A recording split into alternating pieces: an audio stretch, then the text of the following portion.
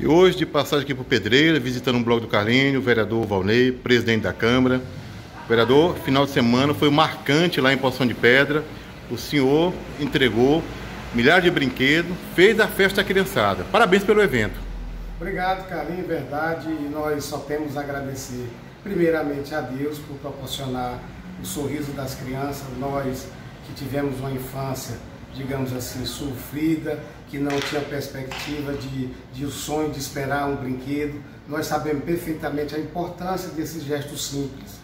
Por conta disso, nós vamos desenvolvendo esse projeto enquanto vereador nas comunidades zona rural e, por fim, agora esse ano, com muito brilhantismo, graças a Deus, graças aos nossos incentivadores, aos nossos colaboradores, aos voluntários que fazem parte do, processo, do projeto, e foi um sucesso total, repercussão geral, criança alegre, os pais felizes por ver o sorriso das crianças, e isso é importante, e isso como ser humano nos deixa muito felizes e honrados. Eu fiquei impressionado com a quantidade de pessoas, crianças, pais, famílias, voluntários. Poucas vezes se viu a Praça do Lobão tão lotada de gente num ato por Dia das Crianças. Pois é, Carlinhos. De fato, lotar a Praça Raimundo Lucas, a antiga Nisso Lobão, ela não é qualquer evento que lota aquela praça.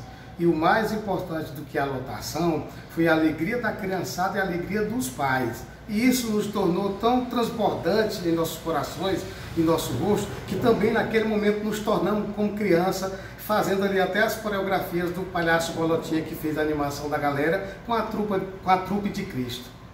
Tá certo. 3 mil brinquedos, rapaz.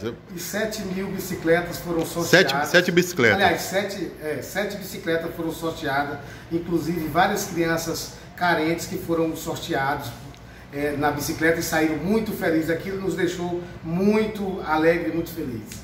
Rapaz, 3 mil brinquedos. Sete bicicletas, lanche, brincadeira, pula, fé, pula, pula. Palhaço Vereador Valnei não é fraco, não. Estamos aí com a força de Deus e a força do povo, vamos continuando avançando, fazendo os nossos projetos e trazendo alegria para o nosso povo. Aí, só para encerrar, hoje também se comentou nos blogs locais, pelo lado político, né?